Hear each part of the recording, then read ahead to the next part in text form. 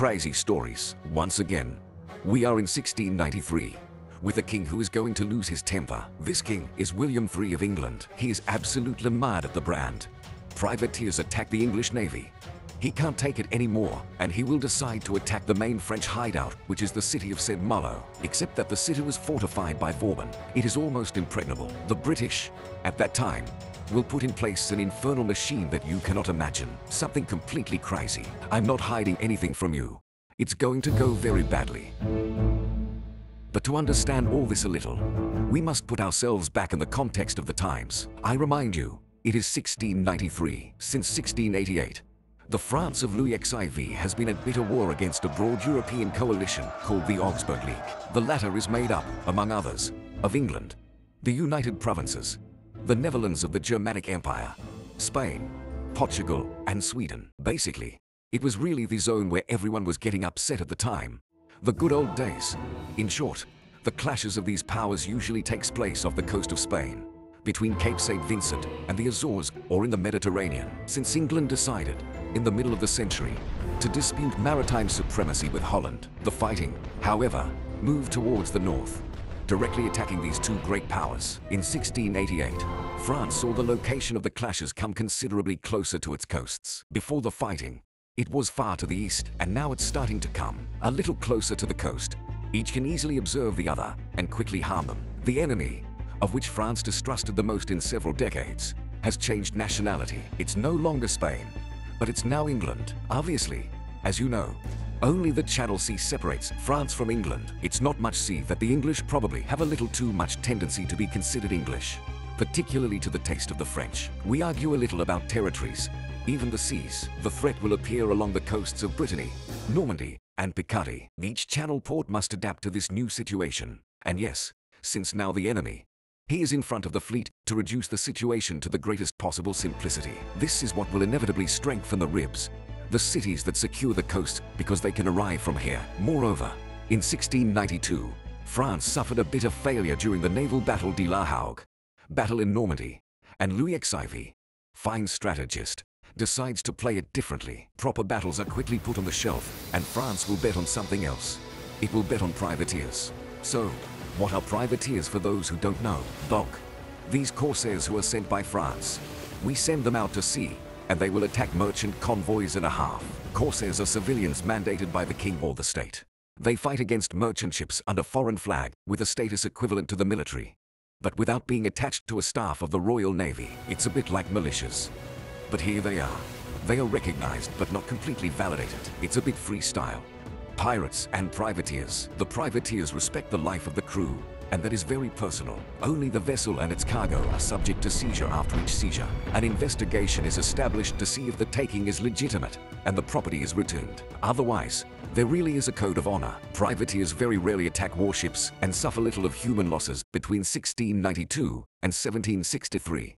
It is estimated that only 0.6% crews of privateer ships died in combat. Privateers cannot be confused with pirates that it is important to distinguish between privateers. They're not pirates. They're really the opposite. They will carry out their activity only in times of war, with authorization of their government, and when they are captured, they are entitled to prisoner of war status. This type of naval warfare is called coarse warfare. The aim of this maneuver is to suffocate the opposing economy by avoiding its military fleet, which attacks commercial ships. This way, they reduce financial flows. The country is weakening and doing well. René du Guesclin and Robert Surcouf are well-known corsairs from St. Malo. Obviously to name just a few, there are others. The privateers wage war for commercial purposes, entering into a contract called Hunting Party a few days before departure.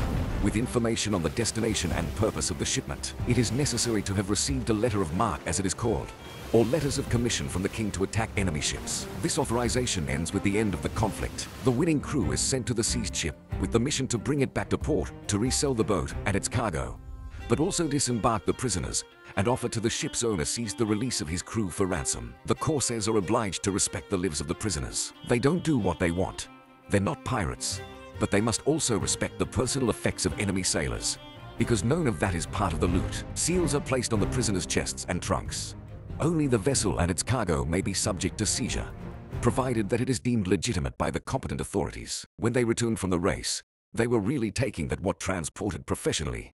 That is, If he was carrying gold coins in the hold, which was considered the main cargo, they could take it, but not the biftons or whatever that the guy had in his trunk, and which was his. It's a bit like the tax office of the seas.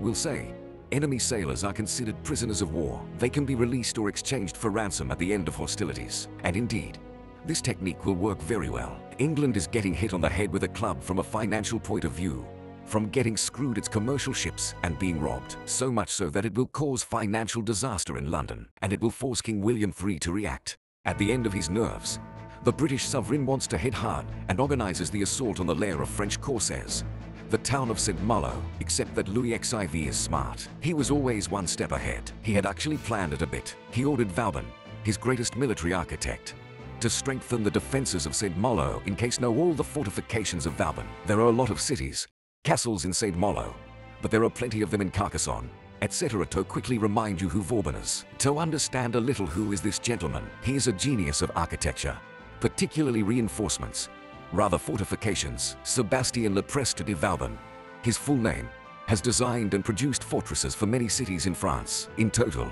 it is estimated that he would have worked on around 160 fortified sites during his career as a military engineer. These fortifications were designed to consolidate the defense of the Kingdom of France under the reign of Louis XIV, and they also played an important role in the security and military power of France at the time. Vauban's fortifications are recognized for their ingenuity and their formidable efficiency. Vauban will therefore modify St. Malo not only the city walls and the castle to place artillery there, but he also draws plans of forts positioned on the main islands in the bay.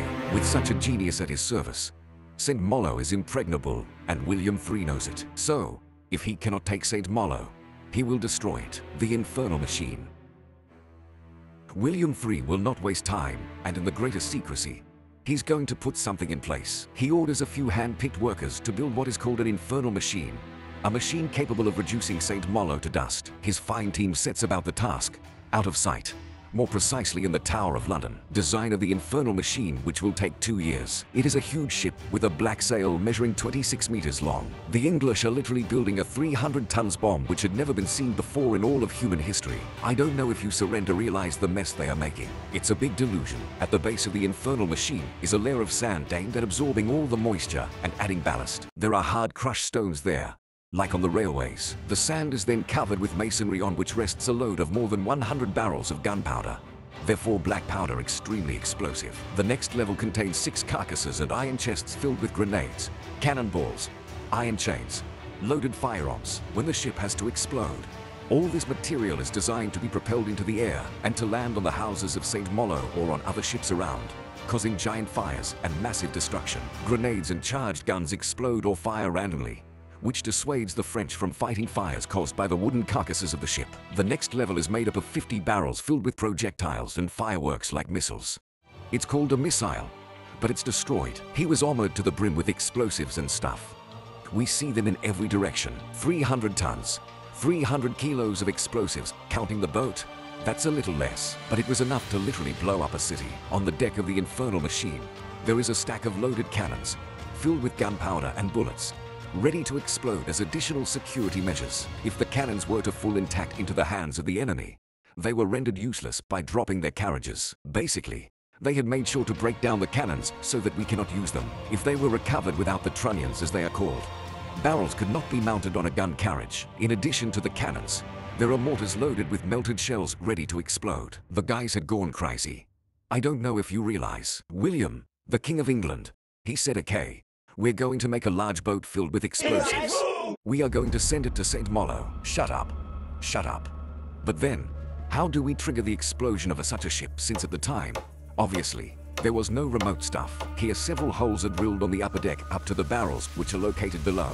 And a quick match is used. A member of the crew must light the matches, rush off the ship to a waiting boat, then row quickly to get away from the ship while exploding. To summarize, it is the equivalent of when you light a firecracker and you run away, except there are 300 tons of explosives there. This means that if the fuse goes too fast, it's over for you and your friends. Be careful, because the idea is to send the boat all alone towards St. Malo. There's no one on it.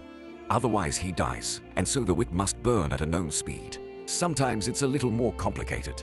Additional details. The vessel is designed to navigate in shallow waters, which will allow it to get as close as possible to the coasts of St. Malo. Moreover, The most paradoxical thing is that its inventor is a French Huguenot, as we call this guy called Fournier. So, the term Huguenot is a derivative of German and Gehenno, excuse me for the pronunciation which means Confederates, and which was initially used pejoratively to refer to French Protestants. The Huguenots played a significant role in religious history and politics of France.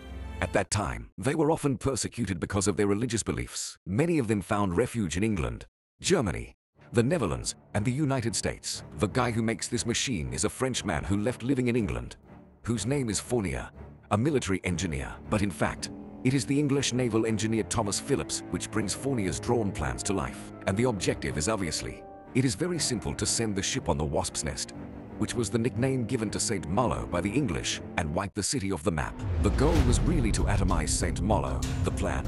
It is well put together, and obviously the machine like that, on paper. It looks formidable. Everything will work as planned or almost the day of the Great Raid. It is November 13, 1693, and the day of the Great Raid has arrived. An imposing fleet comprising 12 warships, 12 brigantine and 4 bombships equipped with mortars for bombardment as well as the infernal machine set sail towards St. Malo, and all that under the command of the courageous Captain John Benbow Benbow Dembo Benbow. He supervised the design of this machine for two years. He wasn't alone in that he was extremely impatient to see what she would be able to give. By 12 p.m. on November 16, most of the English fleet headed towards St. Malo, taking advantage of a strong wind coming from the north despite rough seas and a powerful tide for hours. Royal Navy crews battled difficult and treacherous waters in particular to position their ships for the bombardment. It wasn't until 10 p.m. that they finally flew from 10 p.m. until 4 a.m. The fleet shells St. Malo, throwing a whole bunch of shells and mortars over the ramparts with the ebbing tide. The fleet is suddenly forced to leave the bay for fear of running aground on the sandbanks surrounding St. Malo.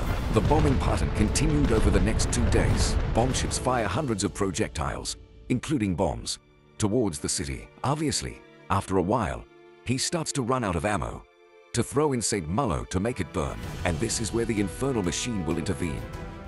The Infernal Machine is therefore called to enter the stage on the evening of November 19. As part of a diversionary ploy, the fleet sends a landing party to overwhelm a small garrison and burn a convent on a neighboring island. In fact, this flamboyant spectacle, if you allow me the expression, is good. This provides a diversion for the arrival of the Infernal Machine, because this boat is still very strange, notably because of its black sails, which are deployed and which are uncommon, and he disappears into the darkness. On board the Infernal Machine, there is Engineer Phillips, and a minimal crew supports the navigation of the vessel through the numerous rocks, but also the shallows dotting the approach to the walls of the ancient citadel of St. Malo, built in stone and reinforced by Vauban in the dark night the infernal machine approaches its final destination without a sound. However, by the time the ship is almost in position, the wind suddenly begins to turn, throwing him against a rock. Despite several attempts to free the ship from this unfortunate situation, all efforts prove to be in vain. He actually has Phillips who understands that the situation is turning sour. The boat is taking on water, and obviously, wet gunpowder doesn't work anymore, and so he will make a decision. He will light the boat before he will trigger what we call the fuses, and he and his crew flee, and from there, everything will literally go wrong. The ship rises in a deafening explosion which shakes St. Malo like an earthquake. Even with the distance, the explosion will make St. Malo tremble because it was so charged that the shockwave will reach St. Malo. The roofs of the houses are torn off. The protective sea wall of the citadel collapses. The wings of the windmills are torn off also, and the explosion shatters all the glass in the windows. The blast explodes, the porcelain and the terracotta for kilometers around. Projectiles rain down from all sides. Hundreds of bombs and grenades explode relentlessly with a domino effect, throwing the population into panic. Burning wooden carcasses fall from the sky in all directions, and miraculously, part of the ship survives, probably thanks to the gunpowder wet barrel present in this section. And Jean, writer of the time, will tell of the luminous whirlwind of bad luck. Terrifying the darkness, the air burns, the sea boils, the earth trembles with a roar. The ship disintegrates. Planks and beams spin. The mast dragging behind it the shrouds in flames. Blazing, new comet. He spoke like that at the time. But you roughly understand what the fireworks of the year were. The damage caused is only material. St. Malo suffered damage, but remained intact. Legend has it that this failure broke Thomas' heart. Phillips who, so unfortunate, fell ill and died three days later. At the same time, the guy who spent two years of his life working non-stop on this and it totally screws up. The wind ruined everything. The only victim listed by the French is a cat that died after receiving an ember on its tail. And besides, in St. Malo, there is a street that we will call Rue du Chat-qui-Danse. It takes its name from this unfortunate feline, obviously like a big face. Towards the English and elsewhere, there were obviously songs and even proverbs that say English which, like the mountain, are not one poor rat in his St. Malo countryside.